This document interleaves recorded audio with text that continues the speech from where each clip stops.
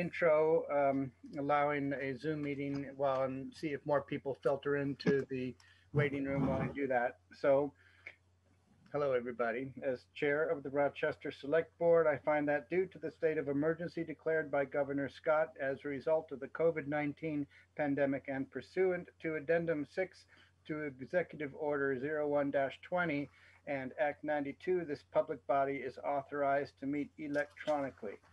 And in accordance with Act 92, there is no physical location to observe and listen contemporaneously to this meeting. However, in accordance with the temporary amendments to the open meeting law, I confirm that we're providing public access to the meeting using the Zoom platform. And you can, here's somebody else that wants to get in there. And you can get access to that by either going to the town website to the, be the um, connectivity um, pathways or look at the posted minutes around town or request a direct email invite from the town clerk. And that's, um, so we'll just, and that- that's, um, is that you, Danny and, and Manzanita? That just entered? Yeah, I'm gonna mute. And Nancy's gonna be here too. Okay. All right. Um, and so we have, I think everyone, there's no mysterious phone number identities. So um, I think that we can move forward. Welcome, everyone. You know what this is about. This is um, basically a hearing about the application on the town is submitting on behalf of the committee that is uh, researching the options for repurposing the high school building. And we have Vic and Catherine here as representatives of that committee that can really present uh, what this grant application entails and what it's asking for. And um, I think that I will let them take it away from here. Okay, uh, thanks, Dune, and good evening, everybody. Uh, I'll give a few comments about the grant application, what it's for, and Catherine will add to that. And then I think we'll just open it up to comments, questions. It's, it's uh, to take public comment. And uh, as questions come up, we'll try to answer them as best we can. And, uh, and just, you know, go as long as people want to uh, talk. So um, just, just again to be clear, this this uh, hearing is about the grant application. It is not about a decision for the town to either acquire or not acquire the high school building. It's purely about this uh, grant proposal that the town is going to submit to do a, a feasibility study on um, some um, program uh, concepts for the for the building. It's a fifty-eight thousand dollar request. It's going to the the Vermont uh, Community Development Program, which is a program of the Agency of Commerce and Communication of the state. The, the source of money is uh, Federal Department of, of uh, Housing and Urban Development, and then flows through the state and then to the uh, successful applicants. So, so the money uh, that's that's the source of the funding. It's really it's to provide a uh, feasibility study um, and that is uh, the purpose of which is to enable the town, uh, meaning both the select board and the, the voters of the town, uh, to evaluate if and how the, the, the, what would be the most effective use of the uh, of the high school building um, uh, with a with a newer purpose. So it involves um, a project proposal that is cited in the in the application itself, if you've had an opportunity to uh, read it, it's on the town website and, and it's spelled out in, in quite a bit of detail there. But just quickly to summarize, uh, it's to uh, meet identified local and, and regional needs more than just the town of Rochester, but really the Quintown area, and in some cases even beyond, uh, for child care, adult daycare, um, enhance the economic development and the creative economy through the creation of a makerspace uh, and uh, what we're calling an arts and learning center, as well as uh, support other complementary uses that uh, the community uh, needs and would we feel benefit from. Um, so um, the, the actual work itself, the, the $58,000 to be spent on consulting services uh, where experienced consultants who know and have done feasibility work like this would be engaged to prepare a master site, uh, uh, master plan for the building itself, would assess the physical uh, condition and uh, improvement requirements to meet the, uh, the needs of the programs that are intended for the repurposed building and, and uh, do an overall operating budget for those set of programs. You know, what would the revenue look like? What would the expense look like? Uh, the bottom line, would it break even? Would it not? If not, by how much? Um, and to assess possible funding sources uh, for those uh, uh for those improvements to the building, as well as uh, if there's a if a deficit is determined. So um, that's in a nutshell the, the work that would be um, conducted in the, in, the, scope of this feasibility study. Um, in addition to those identified needs, there are, are or may be other needs that will pop up during the course of the study, and, and uh, we can take a look at those as well. Uh, the uh, uh, uh one idea that has been uh, suggested to us from the Green Mountain Economic Development Corporation is to take a look at housing. That is a that is a, a clear need in all parts of Vermont, and they've asked us to, to take a, a look at housing, uh, low income housing as an option as well. But uh, that's not within the scope of what we have intended to propose in the in the, the grant, but uh, we'll take a look at that too. Catherine? Well, um, this, uh, as as Vic said, the uh, the most recent draft is uh, has been posted on the town website. It is a rather dense document, 26 pages, but it follows the specific questions asked of the planning grant.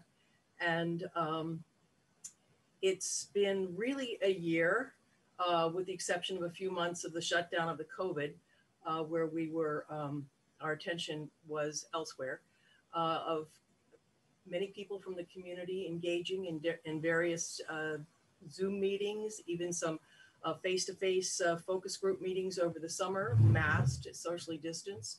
Um, we, um, I think it's the consent, I know it's the consensus of everyone who has worked on this project and who's responded by email to the, to the email account that we set up early on, is that the, the building itself has enduring significance beyond being a public high school as a place for intergenerational activities and social engagement and learning. And I think you'll find that the proposal the five components of that proposal literally align with this. Um, we, the committee has all felt that we still want to keep the, um, the wing of the building that houses the auditorium, which is the only audit, the only auditorium space like that in the entire Quintown area with a 300 plus capacity uh, amphitheater uh, seating. There is no other facility like that around and We want to keep that uh, accessible to the to the school district as well. So um, we don't have everything figured out, which is why we want the feasibility study. We feel that it's important to have the professional consultants to do a well-researched assessment of everything so that the town can have factual information as much as possible to be informed to vote on whether or not the town should acquire the building. So again, as Vic said, this is not tonight about acquiring the building. It's about getting the planning grant money to do the assessment to decide whether we're going to acquire the building. Because um, even though it's it's it could be ours for a dollar, we want to make sure that it's not a gift that keeps on taking, which I know that um, some folks uh, are concerned about. So we want to make sure that it remains a town asset and one that can pay for itself. Uh, and uh, we've got several members of our committee here uh, who could speak to their specific thing. Um, Dick, would you like to talk to the makerspace or Robert? Jeff has been involved in the energy assessments uh, and Dorothy and some other people have been on the arts and learning committee. So please feel welcome to jump in to talk about how you uh, envision how the this multi use facility is uh, going to be a benefit to whatever has been your focus of interest in the months that we've all worked together. Robert. Uh, before we, we go off into that, I'd, I'd like uh, uh, Vic and Catherine to speak to two points. One is matching grant. I mean, the what what we have to have for a match for the grant, Hmm. and two, how this aligns with the town and regional plans. Okay, I I can speak to the first point. There's a ten percent required matching grant, so fifty-eight thousand dollars is the amount of funds we're seeking. So fifty-eight hundred dollar match, which can be in cash or in-kind service, uh, or any combination of the two.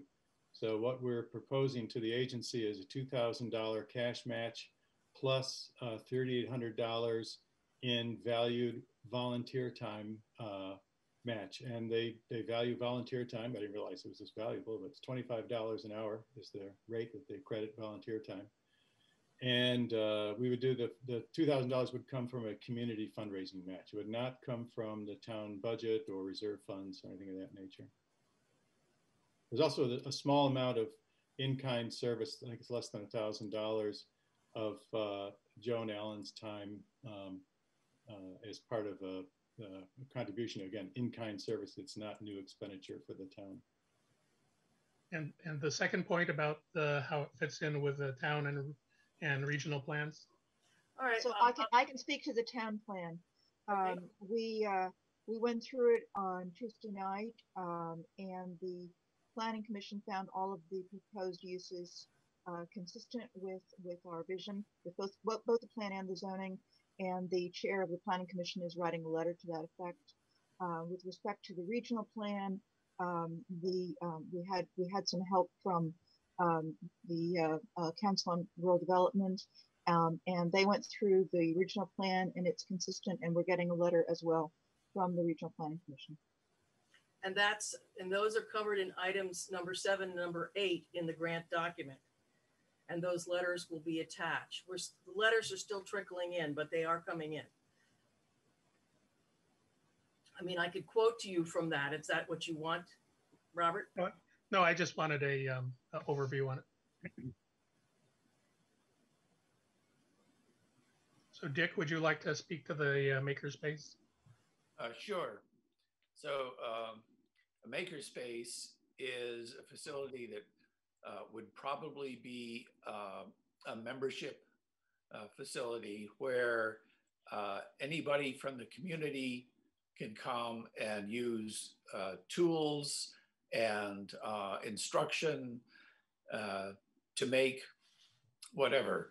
Uh, that the hope would be that it would have woodworking, metalworking, um, electronics lab, um, uh, facilities like 3D printers and con- uh, computer controlled uh, routers, things like that, that people can learn to use.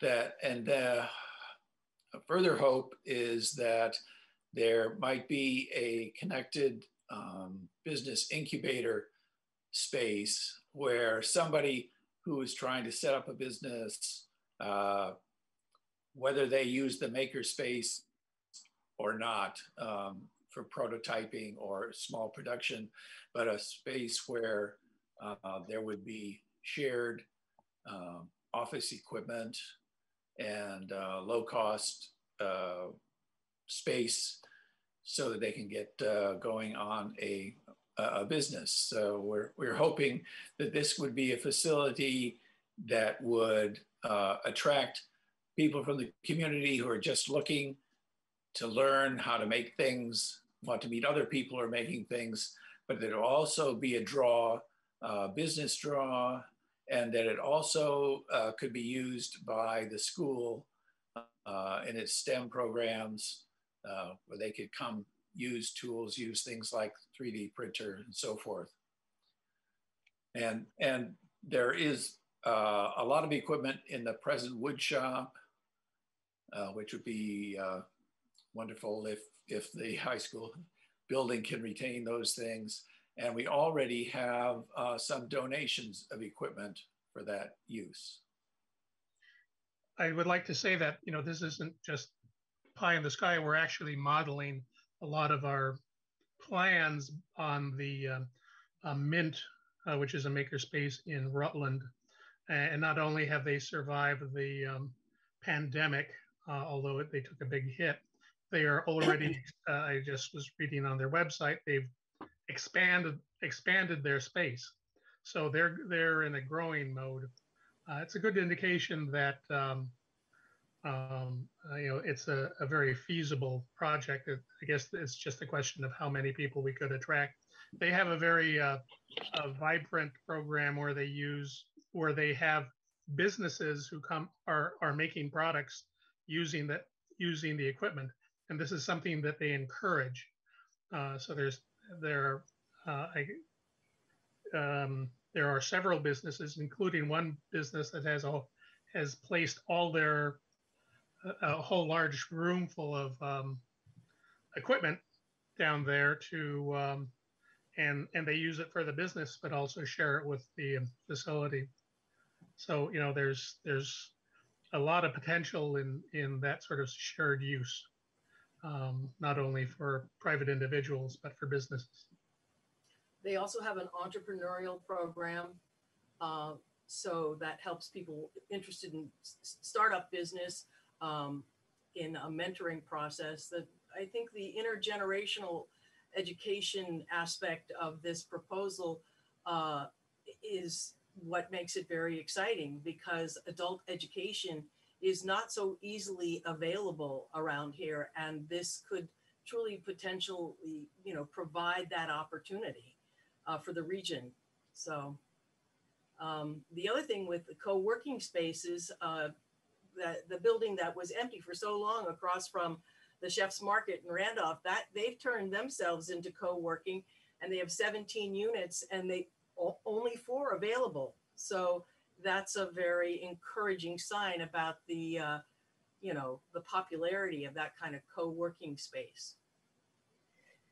And as, as Rochester becomes increasingly, you know, a recreation des- destination, the, the idea of even having a potential, what they call the passport program, where people who are doing the uh, exploring the natural resources across the state when they come to Rochester to be able to have some sort of a, an office space available to them so that they're, I mean, uh, not only accommodations for, for, for overnight, but, but office accommodations. So we're exploring all the, you know, the possibilities with that kind of space that will certainly help economic development.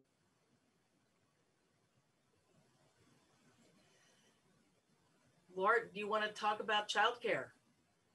I do. I was going to say that's a good spot for me to jump in and talk about what we are doing with our early child care group. Um, I'm the preschool teacher at Rochester Elementary School. For those of you who don't know me, I work with Burley Griffith. Um, I've been there for seven years. So I know a lot of the young families in town, and I know the grandparents and the need of the young families. And being in Rochester for a number of years. I've been there during the time that the high school building was closed too. Um, but I have a draw to do something in that space. And because I do, a couple years ago, I met with the fire marshal to see what he would approve as space that would support an early child care program. So I know from him where he would say this is where occupancy would be granted without much having to happen to the space which is the first real step when you open up a childcare. So knowing that space was encouraging, but then we had to pause things. And so now that we're in a new part of being able to soon hopefully go into the high school building and do new things, we've made some steps with forming a childcare board for this new childcare. Kaden Hamlin is on it, myself, Burley Griffith, and Michaela Richardson, a preschool parent and a business owner. So, having come together, we are now a nonprofit childcare because knowing the childcare world, you want to be a nonprofit so you can receive the most grants as a childcare, which will give to sustainability of the business because the childcare is great, but there's also the business side of it that needs to be considered. To see what the real need is, we've put out a survey to the local population, which yielded very positive results. So we know that immediately opening, we would have a full classroom for, we were first thinking of after school for preschool children because I know that there's that need immediately. For state money, where the state has money for grants is for toddler and infant spaces because those are so difficult to find across the state anywhere you go. So we would look to open up with a after school preschool program and have toddler care during the day. And as the need continues to grow, we could expand hopefully, but that's where we are right now. So when things are further along, we can move along with them. But right now, we're just in full support of this grant to get to the next step. We've also gotten a letter of support from the One Planet um, out of the supervisory union. They conduct the um, the summer programs as well as the after school, and they're very supportive and want to be involved in this as well. So, and I feel that you know having these facilities all under the same roof will have a mutual benefit. To have an arts and learning center with a child care and adult care will give a potential for expanding the programs of those facilities. Um, Lauren and I spoke, and I think uh, the whole child care group spoke about, you know, the idea of really Reggio Emilia, for anybody who knows that philosophy, this incredible child care program that came out of Reggio Emilia, Italy, which really brought the arts into the core of the learning process. So exciting, incredible work. And they are also excited and aligned with that. So it just, it just to me just seems like there is incredible potential at a time when our school budgets for the arts is shrinking. So, you know, it's it's it's really that we're offering what is not necessarily as available uh, through the public school system. Robert, you You're muted, Robert. yeah, you're muted. I'm sorry. Uh, would you, Lauren, would you speak to the uh, previous experience with childcare uh, facilities that men- members of your group have? Sure. Um, I have taught at Rochester for seven years. I also run my own childcare business in Plymouth during the summers. Um, and at that facility, it's at the old Plymouth Elementary School. So I've been through the process where an old school gets converted into a community center. Um, Burley has worked with me for four years and has achieved his associate's degree since working in Rochester and is committed to the early education field. And to have a male in early education is very rare and wonderful. Um, I'll let Kaden speak to where she is at with her career in childcare. I think she's better at that. Thank you. Um, I am a licensed early child or a certified early childhood educator, and I have previously been a preschool teacher for two years. So, like Lauren has experience of the wazoo um, in comparison, but I um, I have experience in childcare. Um, I'm also pursuing um, an, uh, an elementary ed degree, and I have a little bit left. So, yeah. Um, Robert Gardner, I started. Do you want to say something? You're muted. Yeah. There we go. You hear me? Yeah, you know we do. Yeah. Um, I didn't. I wasn't signaling that I did. Oh, I thought you were just scratching your head. Okay. yeah, I'm. On. All right. Okay. Just I saw your the two Roberts at the either end of my screen that put their hands up at the same time. June? Yeah. Martha, you have something you want to say? Um, I just wanted to comment that I think that that uh, of all the many uses for the building, that is one in particular that um, I'm very much in favor of. I think it, it could be not only um, a wonderful asset for the young families already in town who need childcare help, but it could be a way to attract more young families to town, knowing that there's something like a faci- facility like this available.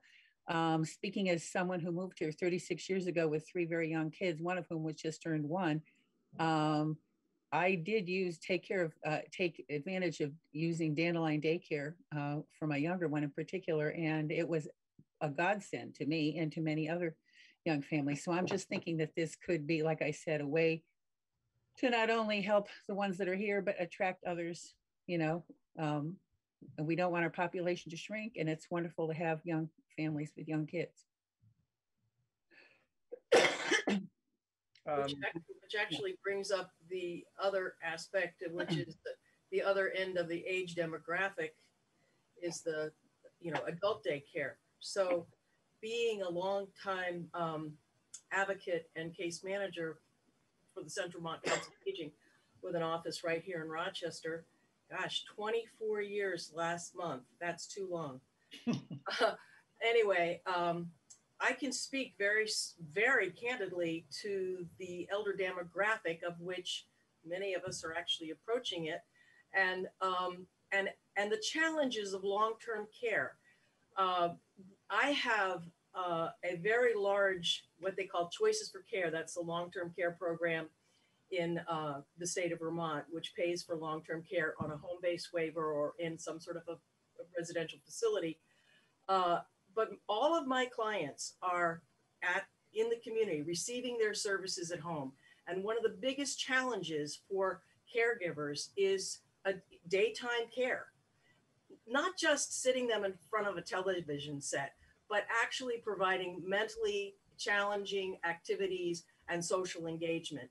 And again uh, transportation is a big deal. There's one you know, there's a room literally up in Bethel where the, the Bethel Rite Aid is, uh, which is a, a large room that's been run by a wonderful person, Judy Santamore, a nurse for years.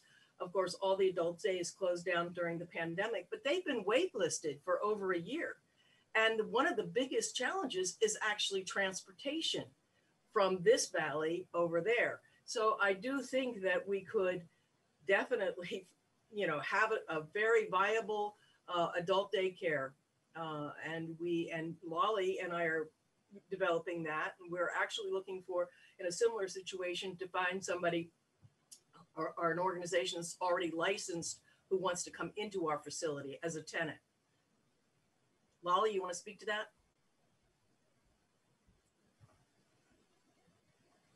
Um, yeah, I, I, the idea of doing a senior um, daycare facility, I think resonates pretty strongly with a lot of people around here. I think the population is definitely here. Um, I think the idea of it being um, located within this multi-use facility um, would make it incredibly unique and probably pretty desirable to a lot of people um, in the sense if there are art classes going on or theater or just other activities for um, for people to be involved in. Um, I do think that uh, there there are a number of adult daycares across the state, and they did close down for the pandemic. There have been quite a few that closed permanently, um, but they are mostly the ones that are surviving are mostly nonprofits. Um, and I do think there's probably the best case scenario would be to um, uh, partner up with um, someone who's already running one, could open up a second location here, um, that type of thing. And the good news is there's lots of money coming in from the state of Vermont going into Adult Day and from um, the, um, the federal government funds for the elder care. So that's kind of an optimistic picture right now.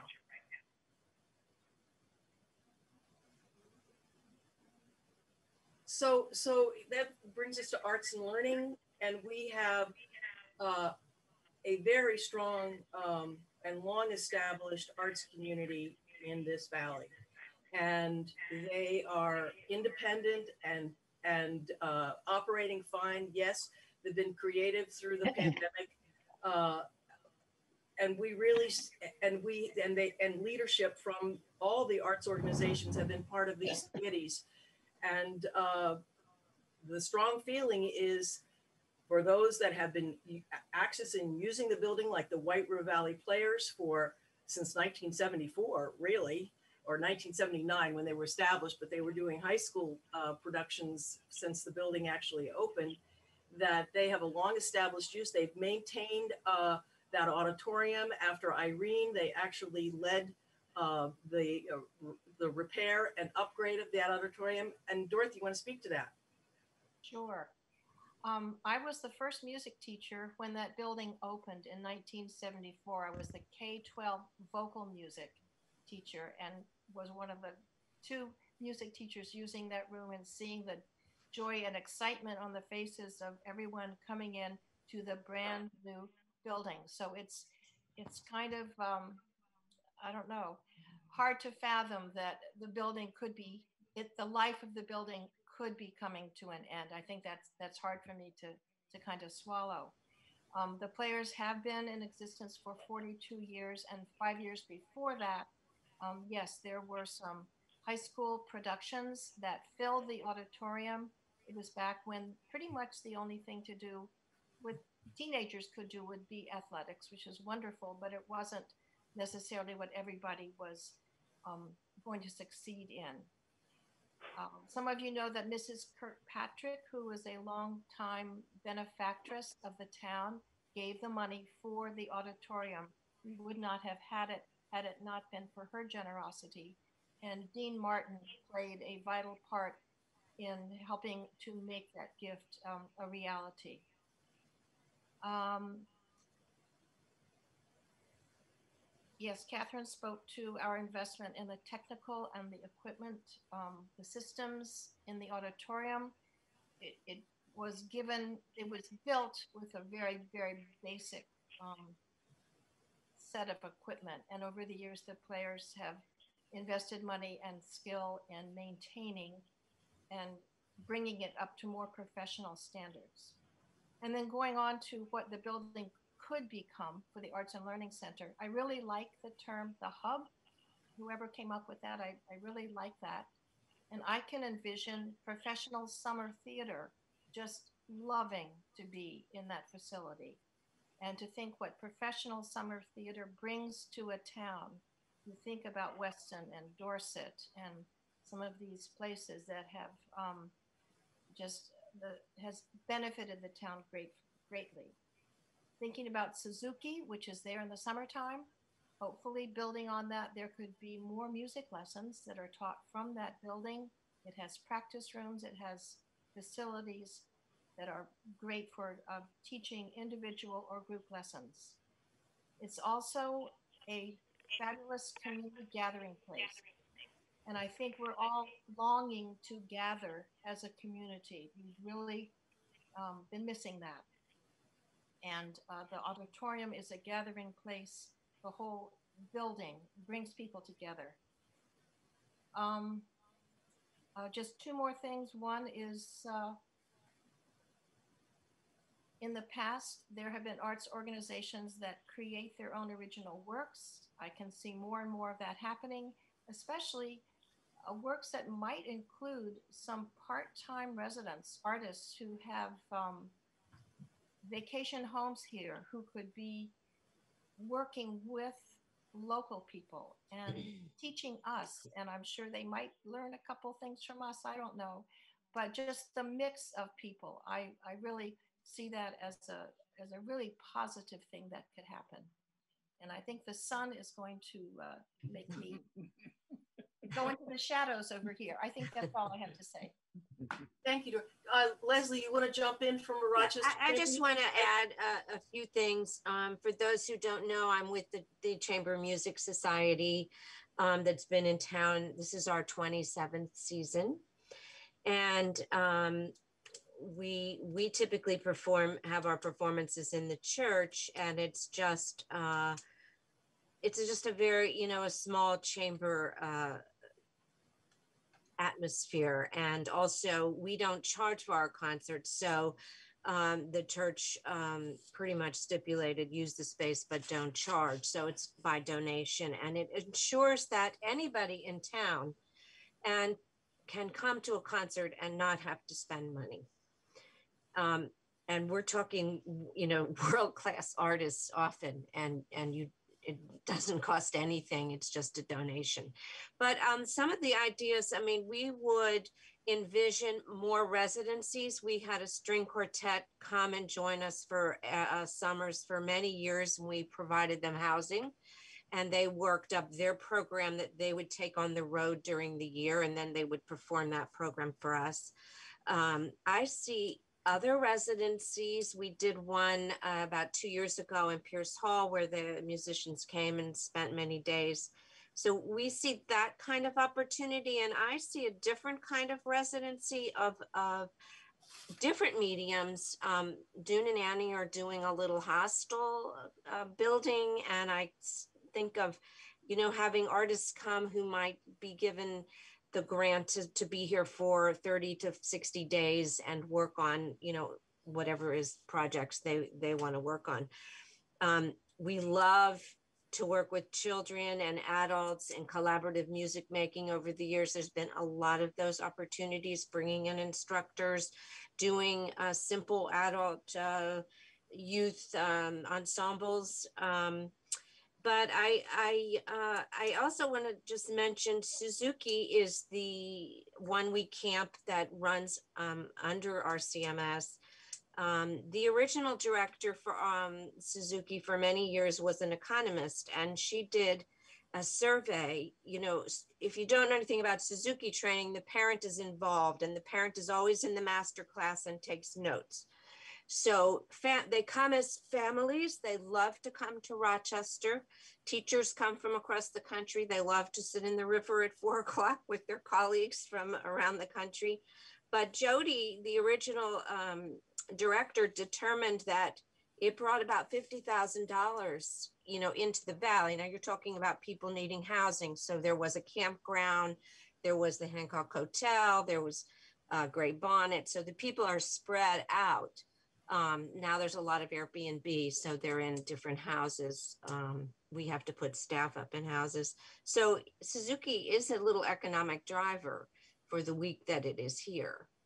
Um, and it's used this building for a long time and we hope to continue that. And it could be the model for other sort of residencies as well. Yeah, without the building, oh, they would have to move on. Yeah. Robert, you want to say something? You're you're muted. Thank you.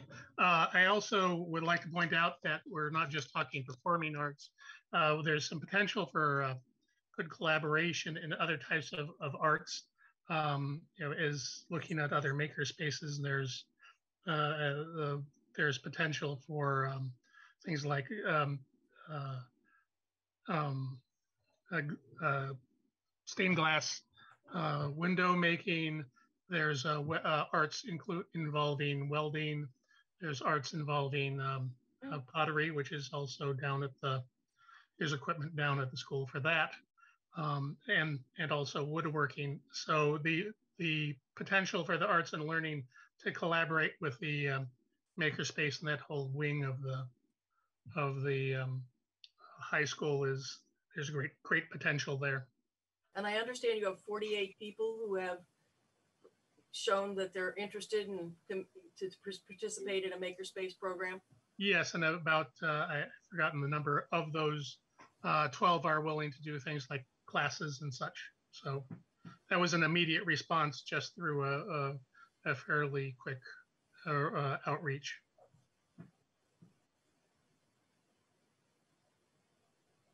So um, you've touched on a lot of the, the opportunities and the, and the people that are um, have energy behind driving those opportunities. Does anyone else have anything that they they questions for the the drive? Robert.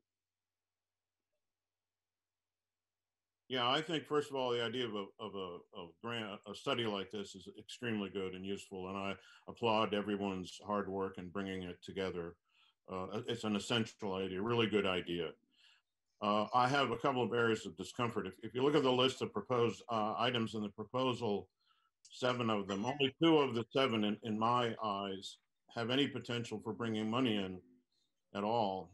And one of the reasons, of course, the school board and Stockbridge want to get out from under this building is because of the cost of maintaining it and the cost of uh, energy, uh, uh, keep it heated and electricity and whatnot.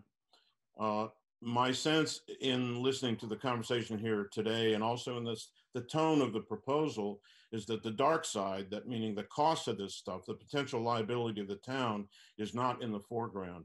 And i know and, and Dune you can stop me if i start coloring outside the lines but I, I know that we're talking about the proposal.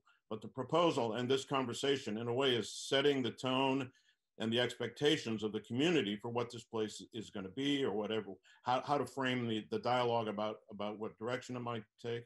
And I think that if we don't take a very serious, realistic, hard look at the potential liabilities to the town that this project has, we are doing a disservice to the voters. I think everything sounds great. All the ideas are, they're wonderful. I love, I love them all. Child, it all sounds great, but it comes down to dollars and cents. The town cannot afford to carry this, and that should be very clear.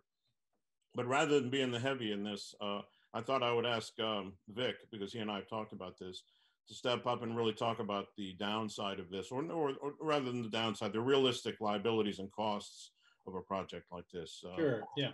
Yeah. And, and, you know, coming back to the notion of feasibility, it's feasibility in terms of the economics of it, as well as, you know, programmatically, is there enough demand in the Valley or, Valley Plus to, to make the programs uh, viable?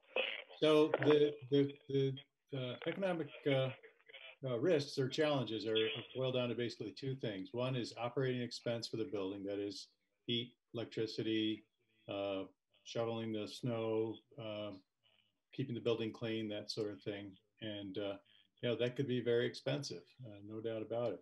So from an operating, you know, that's something that has to be paid for every year.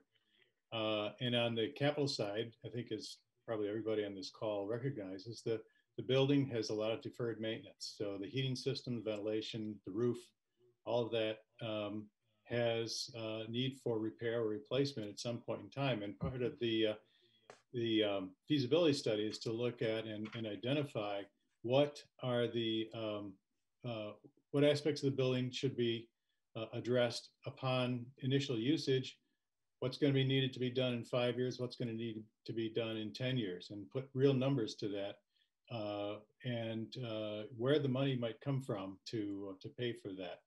Uh, you know, it's it's hundreds of thousands of dollars uh, or or more, or well beyond that. Uh, but again, it depends on the the the actual use of the building. So.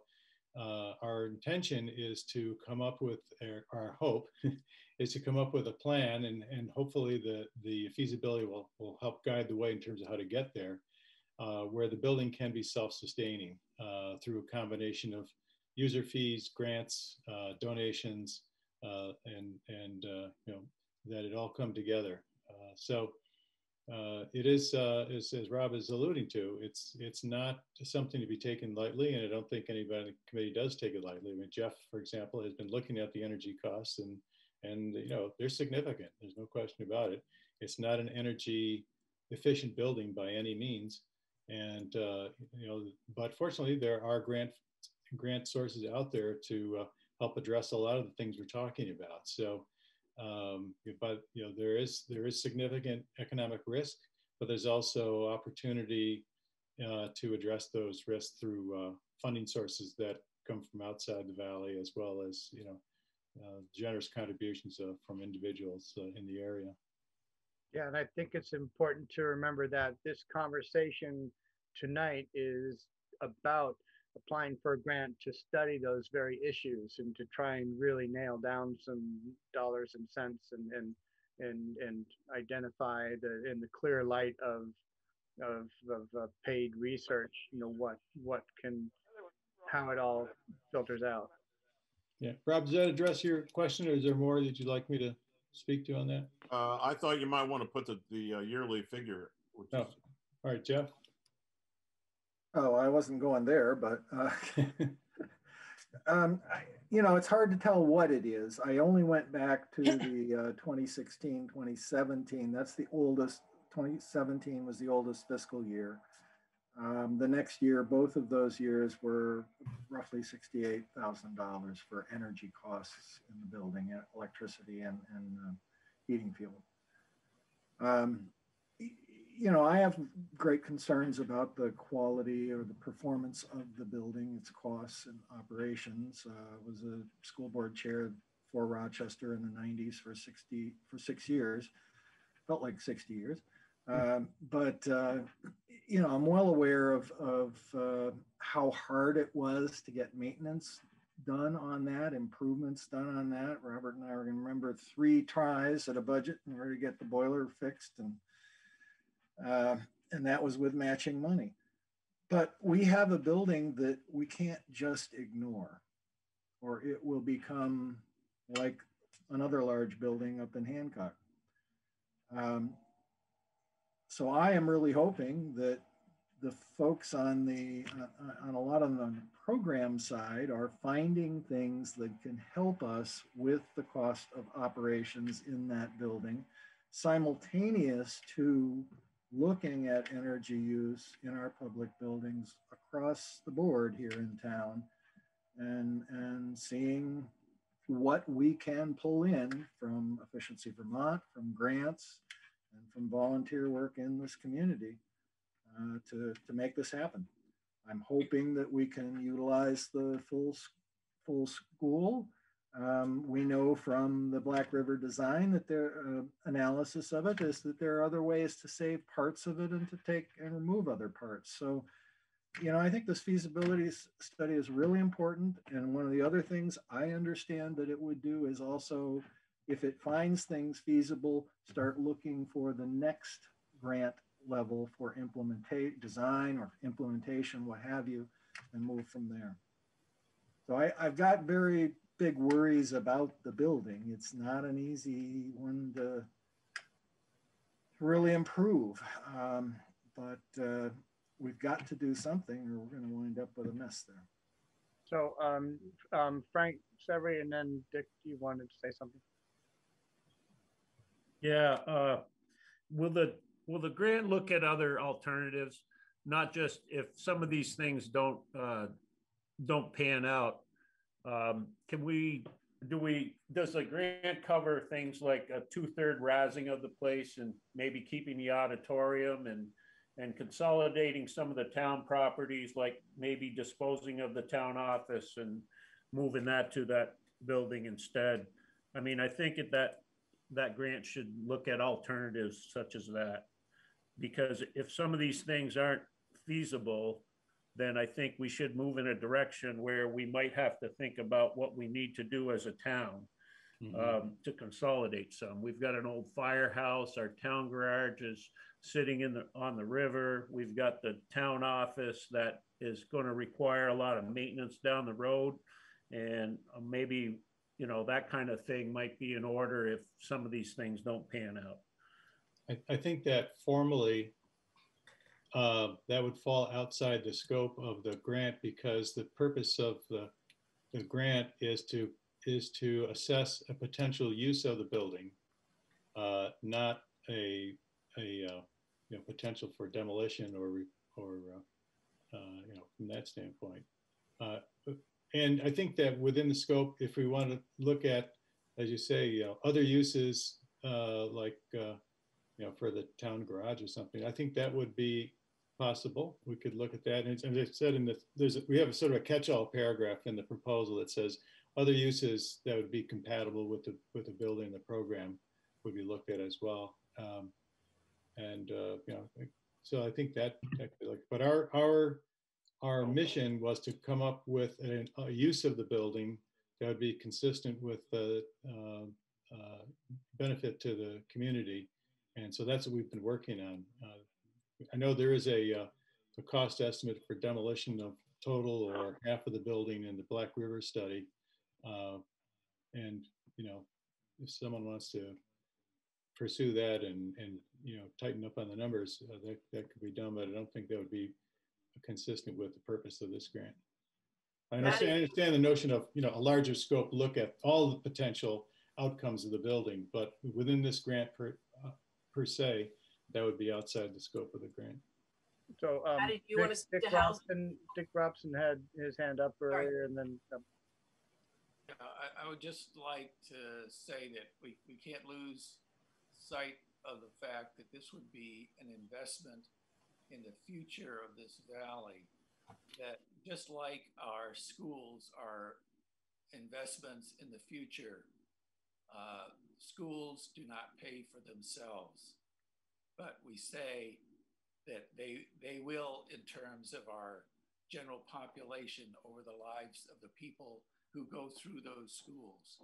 So if we provide some place in this valley that draws people here, people who come from other communities to use it, people who want to move here because it exists. These are things that you can't you can't put in the budget, but they are very important things in the life of a valley that doesn't have a lot going for it, other than we love it here. yeah. Um, Robert, Mary, you, you had a comment you wanted to make? You're on mute again.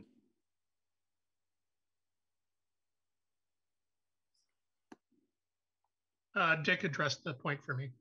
Okay. And Pat, did you have your hand up earlier? Pat Harvey? Well, I just wanted to say that um, we are working within the scope of this planning grant on uh, doing discovery and feasibility about this particular aspect of what could possibly happen with the building. Um, that's what this hearing is doing. It's, it's addressing this one particular avenue we could take. That doesn't mean that we are not pursuing other avenues. Um, we are starting to pursue another avenue tomorrow morning. Some of these avenues don't really need a whole lot of um, discovery, expo exploration. Uh, they would be kind of cut and dry. Um, if we were to um, decide to sell the building, well, we don't have to do an entirely long research planning process for that. This particular one is the one that is the most in depth. Um, for obvious reason, it's, it's very multi-complex and multifaceted. Um, and, and others are not quite as um, difficult, but this is the one that we really need to help with a planning grant to figure out the feasibility of it. Um, but don't don't take that as if we're not exploring any other options at the same time. Robert? Uh, Vic, would the um, the location of the town offices be within, I mean, within the building be appropriate under this uh, as, as an option under these, um, this planning grant? Yeah, I think that, you know, as I said, there, we have a catch-all paragraph where other things beyond the, the um, defined scope that we've already talked about could be included and would be within the scope. So yes, we could take a look at that. And if that's something that the, you know, the select board agrees that we should uh, look at, you know, we could certainly. Having a daytime presence down there, um, you know, Monday through Friday is a good idea.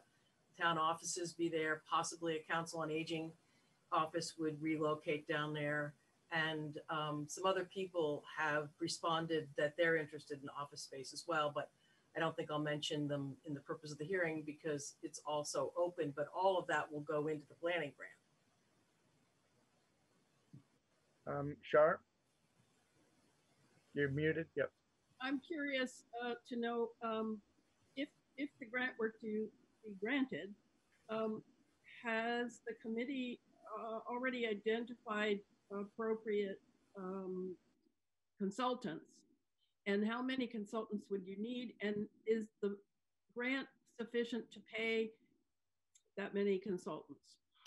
Yeah, the uh, we were given a list of uh, recognized consultants from the from the granting agency, from the the Department of Community uh, Development, um, and we talked with the the rep uh, from that department about some of the strengths of different consultants. Um, we uh, have not vetted that list yet. Uh, and we know that there are at least two other programs uh, in the state uh, that have achieved, have acquired these grants and have used consultants. So we have some people to call on. The, uh, the project in Bridgewater and where they converted a, uh, a, a school building to a multi-purpose facility like we're talking about, and also in Wilmington, did the same thing with a former high school building, uh, which has been a very successful venture. They got both the planning grant uh, and an implementation grant from the same source that we're pursuing. So yeah, there. I mean, I've, come to learn there's this whole sort of ecosystem of consultants and uh, funds out there that uh, you know it's it's new to a lot of us, and we're we're learning about it. But yes, there are consultants out there.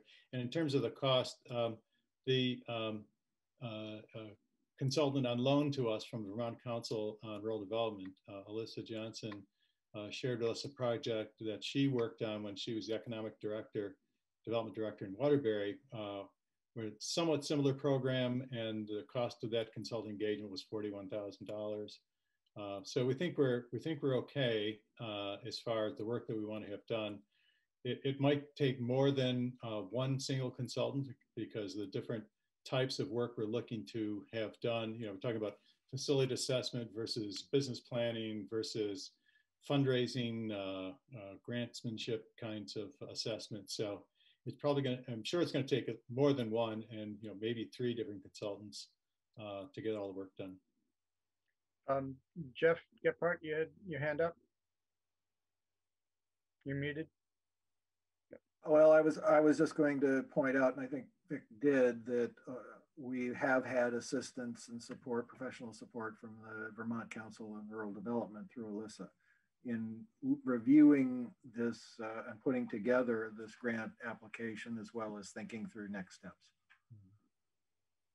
And the feedback has been that this is a strong proposal. We've had positive feedback, just just the FYI. Um, is there anything that Robert haven't touched on, or, or, Robert Gardner, you've got your hand up? Yeah, I want to uh, play off with what uh, what Frank and Patty said relating to this to this grant. Uh, from a pessimist standpoint, five out of seven of your items are never going to make any money. This is my own pessimist, and so uh, at some point, if that were true, uh, we would need to be able to to shift our point of view outside of the box that we've defined. This, I think, is, is what these guys were talking about. We're gonna have to come up with something else because I think that it, it is essential to try to find a way to, to, to have that building, that large property in the middle of our town within the town's control. I think that's really important. I'm just very pessimistic about this particular approach. So I don't know, and, and maybe Vic can speak to this, if there's enough flexibility in the study that that the kind of thing Frank is talking about, the kind of thing that Annie is talking about, or something hasn't been thought of yet, uh, Patty, uh, we hasn't been thought of yet because we're not thinking in those terms. We've defined kind of a narrow box for this thing, and uh, I don't know if if there's flexibility within this grant to, to go outside of the box, uh, or if that's just a whole nother effort and, and a whole nother conversation. Yeah, yeah, I, I believe there is, and uh, you know, again, we we intentionally included sort of a uh, you know, an all other category within the proposal so that we have the flexibility to look at other things. Because, you know, once, as we get into this more deeply, I think it's likely that other ideas are going to surface. Um, and consultants who worked around the state may point to a program in uh, Wilmington or someplace else and say, why don't you try this? In fact, I, I happen to know that the program in Wilmington, where they converted a high school building, they have a combination of for-profit and nonprofit businesses in the building. So, for example, they have their supervisor union offices there. There's a there's a uh, karate school. there's a there's a bakery shop, and there's a you know a variety of other uh, social service programs in the building. So, yeah, I think there are some other ways to do this, um, and you know hopefully get all the programs we're talking about and more. But uh, but uh, to answer your back to your question, Rob, I believe yes, there is flexibility to look at other ideas we just haven't thought of. Uh, Jeff. Yeah, I'm, Pat mentioned tomorrow at nine. Tomorrow at nine, we're meeting with a developer to look at affordable housing. Don't get apoplectic. What, what's the word? Apoplexy. Apoplexy. Dick. I'm not advocating that we turn this uh, classroom component into uh, affordable housing, but it's one of the things that we need to look at as a part of this grant and identify things that we think could can work and things that we know or think can't work. We we would uh, be really amiss if we didn't uh, explore that because right now there's so much money coming down to provide affordable housing. So yeah, Patty set that up and that's tomorrow morning at nine. But that feasibility, if that's a if that's a green light, that will be a parallel feasibility study. In the end, the town's going to vote. The town's going to decide. We are about getting information to the town, informing the town, and then the town is going to decide, well, we want this, or we want this, or we want something else. You know, uh, the select board is totally, totally firm and united that um, that it's got to go to the town for a vote. So the more information, the better, and that's what this grant's all about. Pat? I I think maybe I'm I'm feeling we're we're we're getting tied up in in what we're saying here, and and uh, everybody is has got all ears. Um, uh, all in all, um, if we want to take a step back, what were we stepping back 25 years um, to the group of people that um, said, let's do something with Pierce Hall. um, that I believe was a 20 year project. Um, this hopefully by no means is, is that type of project. but if there is a very positive note to spin on this, um, that wasn't supposed to be possible um, to take a building that was built in the very early 1900s and bring it up to the code of the year 20, 2010 or whatever. Um, there was a lot of naysayers back in those days too. Um, so the one thing that I I feel though when I look at that process is that this is a pretty determined rally, um, and uh, a lot of gumption. There's there's a lot of uh, you know a lot of faith and um, a lot of depending on each other. So if there is a chance of this being successful, um, I would like to say that that type of attitude is still in our valley and that it will be utilized. And we're going to take this as long as we can to the end to determine whether it's going to be a success or not. Uh, we'll, we will not quit on this. Um, I certainly hope not. Um, so um, I, I think it's always willing to take a shot take it to the end, and then we can make a really educated decision on what this building should do for our community in the end. Robert? Uh, uh, I would just like to second that that no, not only Pierce Hall, but 35 years ago, there's community care talked about um, uh, it was a um, had a much more narrow scope, but they looked at this whole this hotel that was there and had a vision of having um, uh, sen- senior um, uh, living there, and that came through. Again, that was many years in the making. Uh, lots of planning grants, lot, lots of lots of community work, and a lot of determination. Catherine, I want to follow up on what Patty and Robert just said because Jeannie Levitan has been working on our committees as well.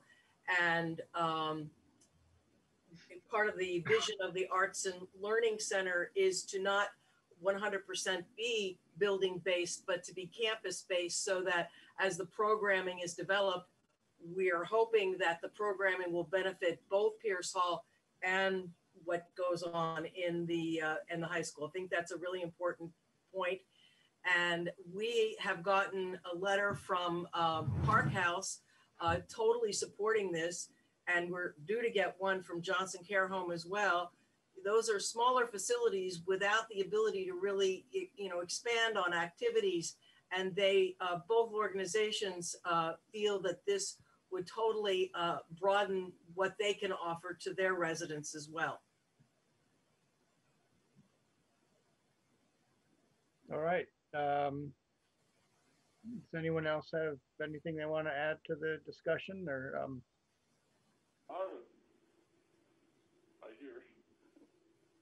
um, I one piece of um, housekeeping. Um, someone joined in on the phone at seven six seven four two nine five. Could you identify yourself for the the records?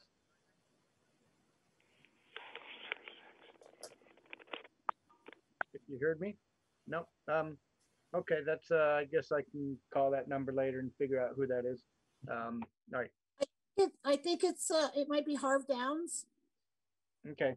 Um, we'll figure that out. Cool. I looked in the community phone book, the reverse lookup for the phone numbers. Um, Dune, I have a quick question. Yep. Um, on the, um, the copy of the like agenda or whatever that Julie sent me for this meeting, at the bottom, it says, um, so is there a separate meeting after this? It says special remote select board meeting following public hearing and, but it's, so there's, there's something. No, this is the special meeting that we're in right now, I believe. Yeah. Okay, it's something about a motion to contract with Two Rivers Ottauquechee Regional Commission. Right, for the, the select board, we are, ha- we are also having what is considered to be a special meeting to uh, bring forth a motion uh, to contract with Two Rivers so that they can assist us in writing that grant. Oh, okay. a- A resolution in order for us to apply for the grant. So those, those two are very closely associated with what we're talking about. Okay, But so it- it's not really a special separate meeting.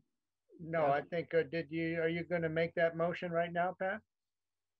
Um, do We- you have the, We the have, motion? Nancy, you have a point of order here? Well, I think that you've had a public meeting, which you, which you opened, and I think you have to adjourn the public meeting. Okay, And then start open with the select board. okay, make that, select right, board. yeah, because this just- is just the I just want to information. add that, that, that they will also administrate the funds of the grant. Okay, And they've been written into the budget and the budget is also on the town website for anybody who wants to look at that. All right. So at this point, unless anyone uh, has anything else they'd like to add to this, um, this hearing, I'd move to close this public hearing and then, um, open up the, a special select board meeting to, um, approve this application to Two Rivers. Pat, you had the verbiage on that. Do you want to make a motion on that? Um, I think Vic might have it. Who has, who has this? Um, I don't have any specific, uh, but I can uh, just summarize. Uh, motion, it would be a motion to uh, retain uh, Two Rivers Ottauquechee Regional Commission uh, as the grant administrator for this grant if it is uh, approved. And um, and there's a fee of seven thousand dollars that's been quoted, and that would come out of the grant funds. That would not come out of town funds. Yeah. So I move what he said. I second it. All in favor? Aye? Aye. Okay. That's- And then yeah. a resolution. Um, the resolution, I believe, is that the town of Rochester is applying for a grant for a feasibility study for the high school building. And I think it is as simple as that. We just need to be on record saying we approve that. No, actually, I think it, it, it's a little more specific than that, and I'll see if I can find it in the instructions. Uh,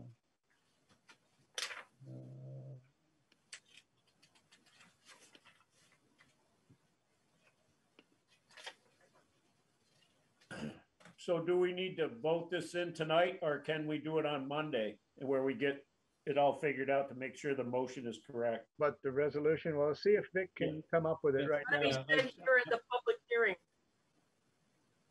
Yeah, I'm looking for, uh, We stay here? resolution. I mean, this is, yeah, we're I don't not, think this we doesn't have have to be executive session. We're making a resolution that we've all been, you know, about a subject we've all been talking about. I don't think we need to do this and you, you don't have to stay here. But you No. can, It's like, if Vic can come up with that. I- yeah, I think I can. I'm just Yeah, yeah. coming down to the right section of the instructions. I think that's page on sixteen at the top, Here it is. It's on page 14. oh, 14. Oh, wait, I'm sorry. Okay, here, let me just read this. The municipality should uh, select the most appropriate resolution for the grant application. Uh, The resolution is to certify that it, one, possesses legal authority to apply for the grant and to administer the program. Two, applies for a grant under the terms and conditions of said program and agrees hereby to enter into cer- certifications and assurances. Three, has a duly adopted and current municipal plan or community development plan and that the project is consistent with the plan. Four, has received documentation from the Regional Planning Commission that the project is consistent with the regional plan, which you have. Has authorized a designated person to be the contact person to provide on behalf of applicant all documents and information necessary for completion of the application and to provide such coordination as may be necessary for the application. That would be Two Rivers. Um, it is understood that if the application is funded, the receipt of the funds as federal funds pass through the state of Vermont may require that an audit of the applicant be conducted under the provision of the Single Audit Act as amended, and that uh, Vermont Council, Vermont Community Development Program funds may be used to fund only a limited portion of the audit cost. Um, excuse me, Vic? Yes. I can't, there's no way I could have written I'll, that. I'll, I'll copy it. I'll send it to you. Yeah, we'll send it to you. Is there any way you, I was, that one of you could email me that, just so that I I can will. have? I'll do that. I'll do that as soon as we're Thank done. you very much. I appreciate it. Yep. Thank you. Is that it? That's Pat, it. excuse, Patty confused me. Did she say that TRORC is handling the grant funds or the town? The They're town's administrative applying, but yeah, the Two Rivers is going to um, be doing the, the legwork and the, the logistics of, of, you know, the paperwork aspect of it. Yeah. So Or this resolution that Vic just read, is that something that the board is, is approving? Or, Yes, Okay. the- right. The, the select board would need to approve that in order for the um, applicant to be uh, viable. Right, right. So can we move to uh, approve what he just read? Because I can't re, restate that very quickly myself. No. I move that we adopt the resolution as stated by Vic. Yeah, I would second that. Oh, I favor it. All in favor? Aye? Aye. Aye. Okay, Thank there it you. is on public record, right on your computer screen. And, uh, and thank, thank you for offering to send it to me. I appreciate it, because that's no way I could write it all down. So um, onward in the, the quest for um, information and understanding, and and um, all everyone's efforts is, is are much appreciated here. Um, Thank but- you to everybody for all the hard work you've put into it. I, I very much appreciate it myself, just as, as a Rochester resident. Well, as Dick said, we love it. We love this community. Yeah. It's about love. Yeah. Well, I mean, I had three kids that went all the way through the schools there and graduated, and it broke my heart when the high school closed down. But I understood the reasons, I guess, for that. So now I, I'm very, I'm very glad to see that there are ways that we can use the building um, for good purposes now. Yep. Yeah. All right. Um, I think we've um, taken care of all the business that we came here to do tonight, and um, not quite dark out. We're done. So um, thank you all, and happy spring, and um, happy, We'll keep posted. All right. For all the good work that you're all doing. Thank you doing. to everybody. Right. See you Monday night. All right. Good night. Good night. Good night. Good night. All right.